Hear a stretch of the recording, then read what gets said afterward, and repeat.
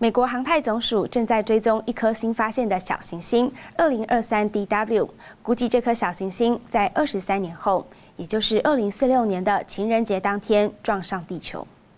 这颗名为二零二三 DW 的小行星直径约五十米，大小相当于一座奥林匹克游泳池。根据欧洲航天局的数据，这颗小行星可能在二零四六年二月十四日这天撞上地球，几率为六百二十五分之一，在该机构的太空物体撞击地球风险名单中排名第一。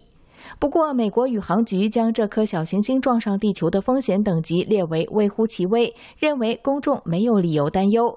尽管如此，美国宇航局还是会每天监测这颗小行星。随着收集到更多的信息，这一风险等级可能还会继续调低。而即使这一风险升高，美国宇航局也有办法来保护地球。在去年一项名为“双小行星改道测试”的任务中，美国宇航局已经成功的改变了一颗小行星的轨道。